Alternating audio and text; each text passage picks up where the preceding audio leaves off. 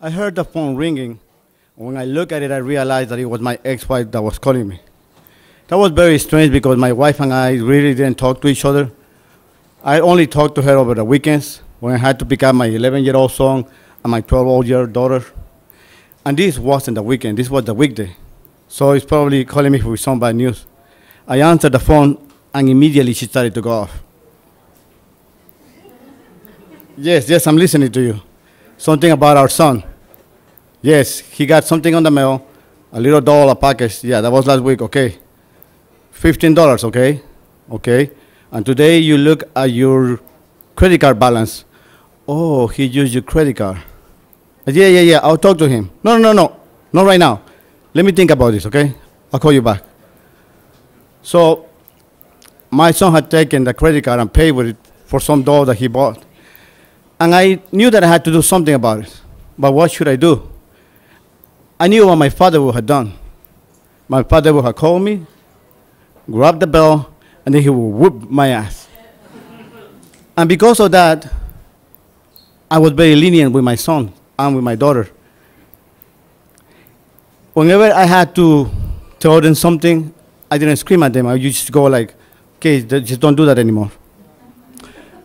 But I knew that in this occasion, I had to find a balance between the kind of discipline that my father gave me and the dis discipline I was giving my kids. So I thought about it for a moment. And then I called my ex-wife and I say, I'm going to pick them up this weekend. I'll talk to him then. So that weekend, I drove over to my ex-wife's house and I pick up my kids. But instead of taking them to the park or to the amusement park or to the house so we could watch some movies, I took them to an apartment that a friend of mine had that needed to have the floor fixed.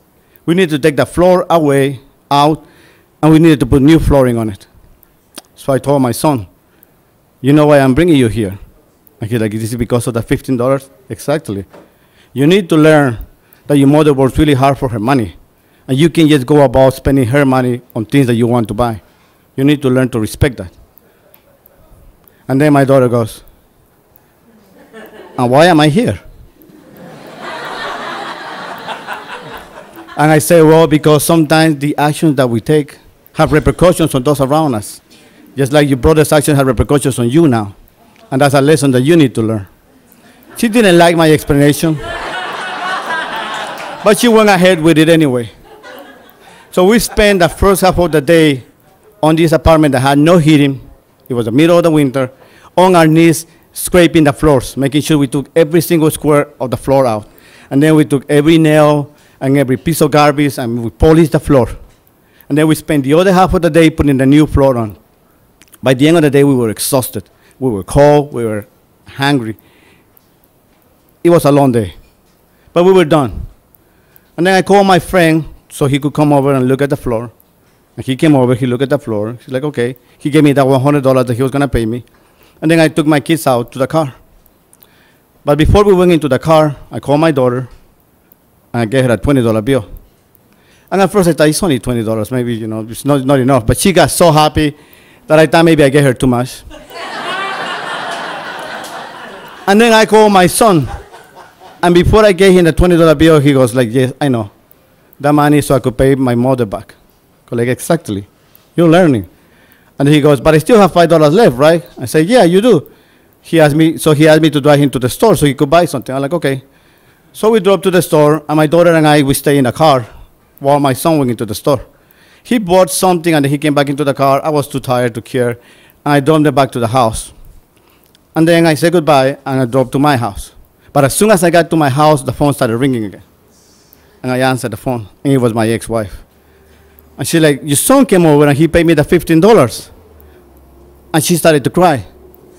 So I started to feel bad about her, and I said, you know what, don't worry about it. This is what happened. They were working in the house and in this apartment, and we were cleaning the floor, and I gave him $20.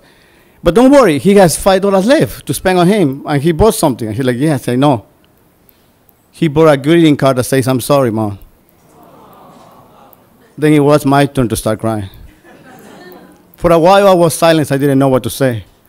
And then my ex-wife said, you know, you and I, we didn't really get along very well, but you're a damn good parent to your kids.